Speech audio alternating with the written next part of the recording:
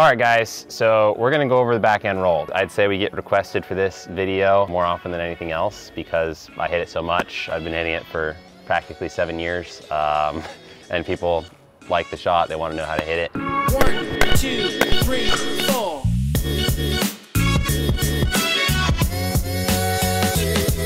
The backhand roll has certainly developed over the years uh, in terms of how you can hit it. Um, so I'm gonna go over how I personally hit it and some, some variations on it. So first, kind of the drill setup that I do, I'm gonna give it to Colin's backhand here on the right, and he's gonna simulate a bit of a cross-court dink to my backhand, and I'll be able to roll that ball. He's trying to set me up to where I'm able to hit it out of the air, but I'm hitting it from below the level of the net. So let me see what this looks like. Give CJ a little backhand here. He's gonna hit it to me and roll the next one. So that's the setup you want. You can do it with three people to where you get a true cross-court dink coming from that direction. I really like that one because changing the direction is a difficult part of this, but also one of the best parts about it that makes it effective. So some things we're looking for. When we're uh, receiving this ball, you're not ever trying to hit a backhand roll off the bounce. Okay, if it bounces, you're doing different stuff. Uh, so we're trying to hit this ball out of the air. Uh, the next thing is, I'd say people think that there's a ton of wrist in it. That's the first thing I tell you that is usually not very right, so they try to do this a bunch.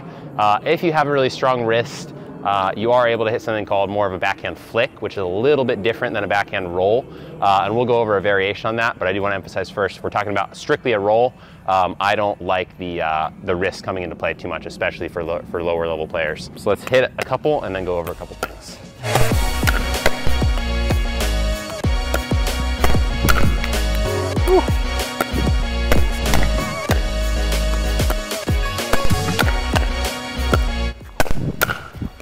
The most important things for me are swing path and paddle angle. So to create topspin, you need uh, a closed paddle face combined with an upward swing because the upward swing gets the ball to go over the net and the downward paddle face gets the actual topspin that you need. And that's really instrumental in this shot. Another thing about the swing path is you need to be starting from pretty low. I feel like a mistake a lot of people make is they go forward on it and that's when they miss into the net. So you want to be starting low and finishing high, okay? Another thing people do is as they go low to high, they roll their wrist over like this, okay? Not a thing you want to do. Try to keep this back uh, at the start. When we get into variations, there's some other stuff you can do, but the basic backhand roll needs to be doing this kind of motion, okay? It should be almost going in front of your face, here to here. That is the most important part of the swing path. The other thing is if you're often missing long, you're opening the paddle face, like so, okay? The wrist needs to be bent forward, much like a, a motorcycle throttle. You can just turn like this. That gets the paddle face down, and that's where you're getting your top spin and keeping the ball down, okay? So uh, if you are opening as you get to full extension, that's where it's really gonna go long and you're not gonna get the top spin you need, okay? So all important things there.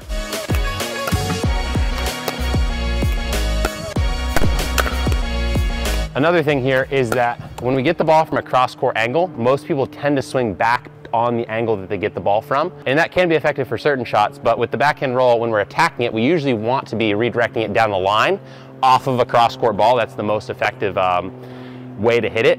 And to do that, it's very important that you take the ball from cross court, but you're still swinging this direction. This is what's gonna guide the direction of the ball. So going from receiving this way and hitting this way is one of the most important parts. So try not to swing back towards the path of the ball in this direction. You wanna take the ball and go this way, which will feel a little bit odd, but uh, it's an important part of the shot. Okay, so we can see right there, that's my favorite one. We're getting good top spin. We're getting it down the line to that chicken wing area. Uh, that's usually gonna be your most effective one. And certainly off the cross court when we're changing direction, it's gonna be the most effective because typically this player is gonna be looking for a backhand, certainly not a forehand. Now let's talk a little bit about spin continuation.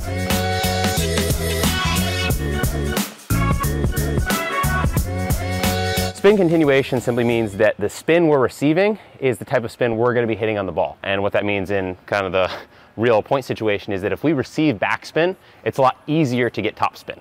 Because when we hit it, because the direction reverses, the spin also does. So we're just uh, effectively putting the same type of spin that's already on the ball, and that makes it a lot easier. So if you're receiving topspin, it's gonna be harder to hit a backhand roll than it is when you're receiving backspin. Okay, so something like this heavy slice versus that topspin is gonna be pretty drastically different in terms of uh, how much topspin we're able to get. Okay, so that is uh, the basic premise of hitting a backhand roll. Again, some things to keep in mind are we need to get low to swing low to high. We don't want to be flicking the wrist or rolling it over like a windshield wiper. It's more about swing path and closing the paddle face and then really just change the direction off the cross court to the down the line is really instrumental in terms of how effective it's going to be. Now let's talk just a couple variations here.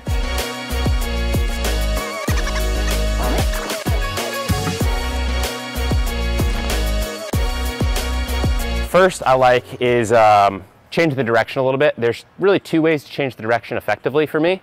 You can certainly just change your swing path. So instead of this kind of motion, you're just changing it slightly over here to get it in that direction.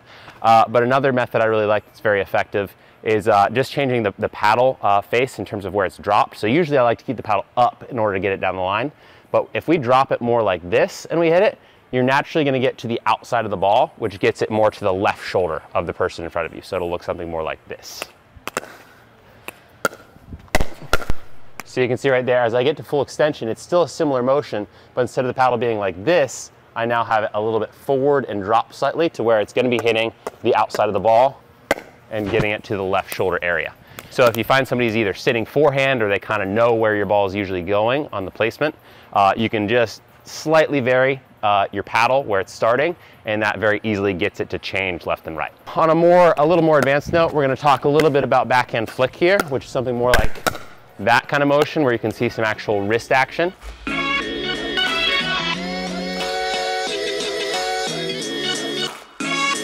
Two things about this. One, I'd say a flick is easier to hit when the ball is higher because then we're getting kind of immediate power from the wrist or extra power at least, uh, and that can make it very hard to defend. But as far as hitting it from below the, the level the net goes, which is akin to a roll, um, we want to be careful simply because using your wrist requires good timing.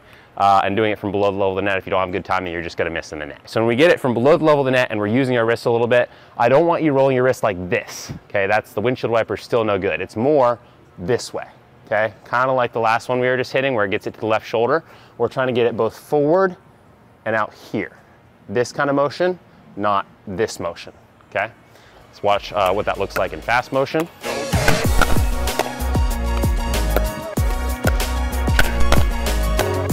Another thing you can use in conjunction with this is some people struggle to get here and then just use the wrist. This does require a, fair amount of wrist strength, but you can combine it with some elbow snap.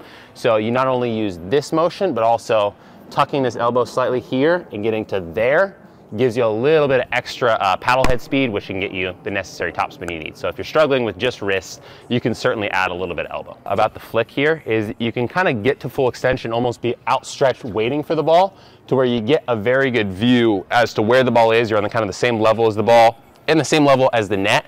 Uh, and that's really helpful for controlling the height. You often get a lot of net cords with this uh, because you're in that kind of down low position and on the same level even before the ball comes to you completely. Um, so that is a, an advantage of hitting a flick instead of a roll. So I would say try both the variations. One may work a little bit better for you, but just try to keep in mind uh, the form cues that I went over a little bit on both of those. But yeah, it's my favorite shot in pickleball, and I think anyone should give it a go because it's a lot of fun to hit.